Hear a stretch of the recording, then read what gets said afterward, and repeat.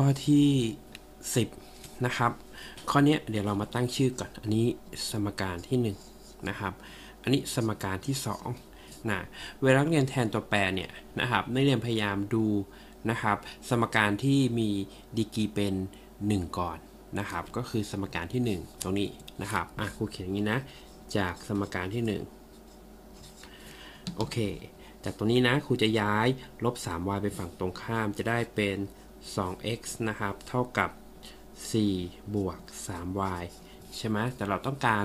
x ตัวเดียวนะครับ ครูก็จะย้าย 2 ไปหารนะครับ x นะครับ เท่ากับ 4 บวก 3y แล้วก็หารด้วย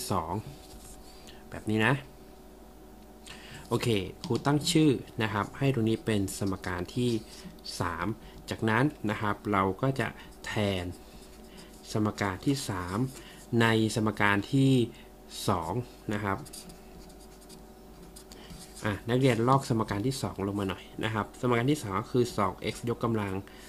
2 ลบ 3 xy ลบ 2 y กำลัง 2 เท่ากับ 12 แบบนี้นะ ตรงเนี้ยนะครับเราแทน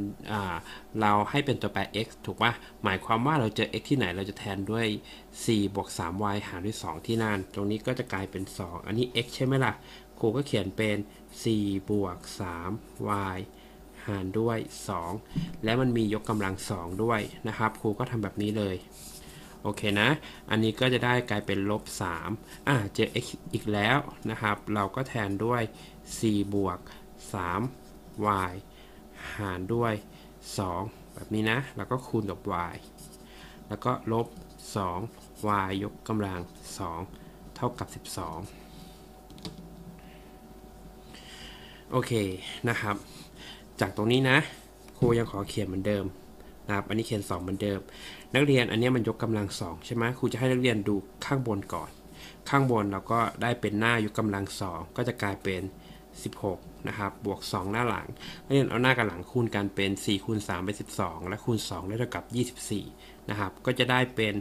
24y บวกหลังกำลัง 2 ก็คือ 9y ยกกำลัง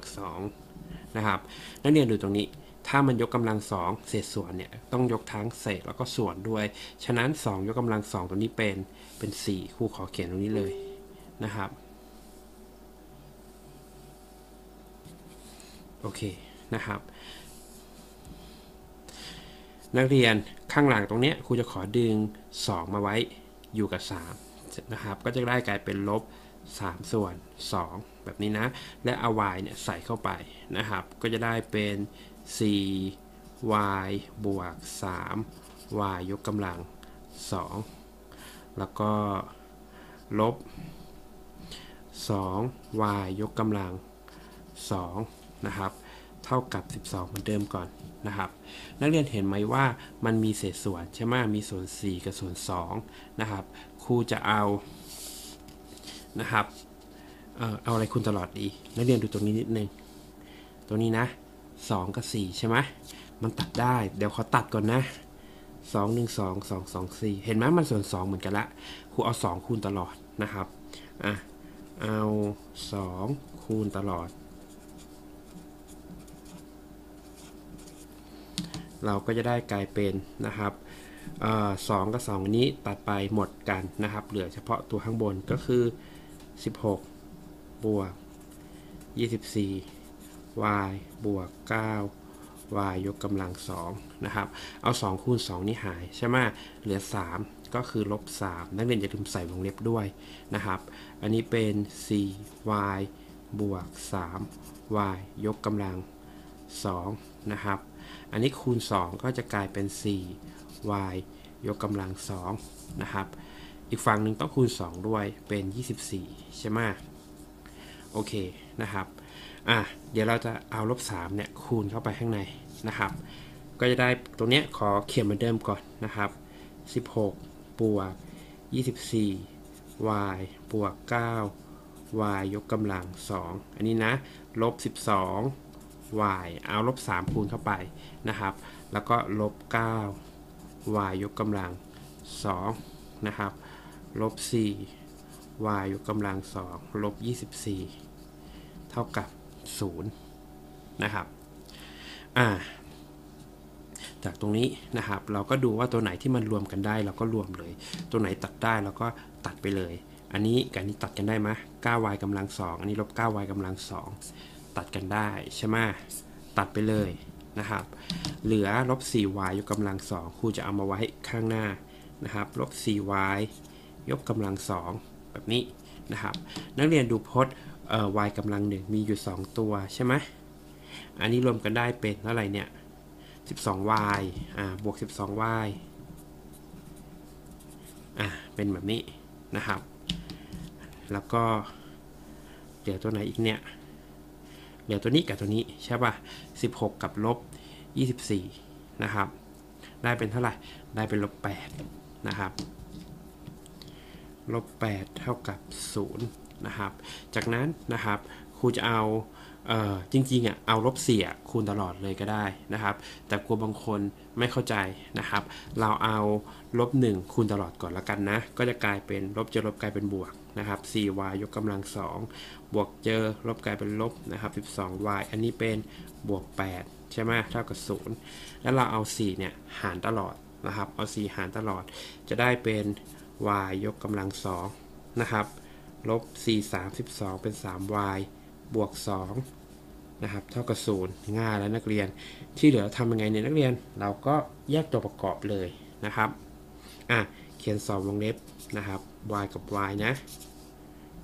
อะจะไปเท่ากับ 0 คูณกันได้ 2 นะครับ บวกกันได้ลบ3น่าจะเป็น 2 กัน 1 ก่อนแบบนี้นะครับ แล้วก็เป็นอะไร เป็น เป็นลบกับลบนะครับ เนี่ย บวกกันได้ลบ3คูณกันได้ 2 โอเค ฉะนั้น y นะครับ ก็จะได้ออกมา 2 ตัว อะ ต่อเนื่องเลยนะครับ y เนี่ย จะได้ออกมา 2 ตัว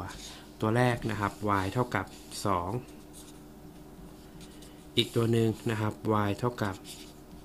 1 แบบนี้นะ เรามาดู x นะครับว่า x จะได้เท่าไหร่กันบ้างนะครับ เราจะแทน y เท่ากับ 2 แทนในสมการไหนดีนะครับ เราก็แทนในสมการง่ายๆนะครับนี่แทนในสมการที่ 1 ดีกว่าง่ายดีนะครับอะ นนะครับ y เท่ากับ 2 ใน 1 นะครับ สมการที่ 1 คืออะไร สมการที่ 1 ก็คือ 2x ลบ 3y เท่ากับ 4 ใช่ไหมเจอ y ที่ไหนแล้วแทนเลข 2 ที่นั่นนะครับ อะ ก็จะได้กลายเป็น 2x ลบ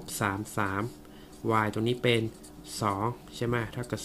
4 2x อันนี้เป็นลบ6นะครับ เท่ากับ 4 2x เท่ากับเท่าไหร่ ย้ายไปบวกเป็น 10 ใช่ไหมอ่า x เดียวได้เท่ากับ 5 นะครับ อันนี้แก้สมการตามปกติเลยนะ ถัดมานะครับ มาดูเเมื่อ y เท่ากับ 1 บ้าง เราก็แทนในสมการที่อะไรเหมือนเดิม 1 ดีกว่านะครับ เพราะสมการที่ 1 มันง่ายนะครับ แทน y เท่ากับ 1 ในสมการที่ 1 นะครับอะตรงนี้สมการที่ 1 คือ 2x ลบ 3y เท่ากับ 4 เราเจอ y เราจะแทน y ด้วย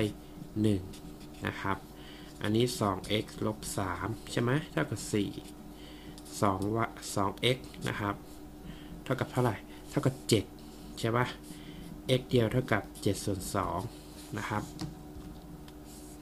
อะเรียบร้อยนะครับ สรุปคำตอบนะครับคำตอบคือ